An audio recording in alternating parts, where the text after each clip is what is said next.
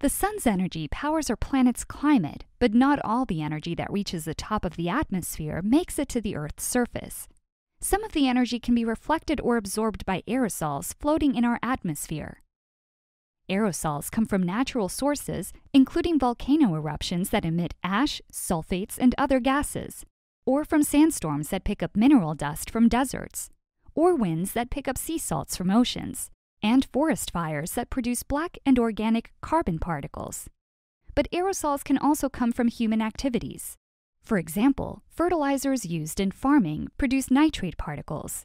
Coal power plants create sulfates and other aerosols, and cars emit black and organic carbon. Most aerosols, like pure sulfates, salt, and nitrates, are bright colored or translucent particles. Having a bright surface means they are reflective, so they are able to reflect radiation to outer space and can therefore cool the planet, which is what happened after the Mount Pinatubo volcano eruption in 1991. It ejected 20 million tons of sulfur dioxide into the atmosphere, high above the clouds, where the particles didn't get washed away by rain. And as a result, the global temperatures dropped by half a degree for two years.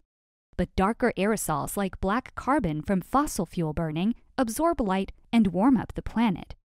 Together, the net impact of both types of aerosols have helped cool the planet and countered the warmer temperatures caused by more greenhouse gases. So, while solar radiation, greenhouse gases, and aerosols are the initial drivers in our climate system, there are also processes that can amplify or diminish these influences. One of those processes is clouds. In the next video, we'll give you a quick recap of how clouds are formed, the different types, and their effect on the climate.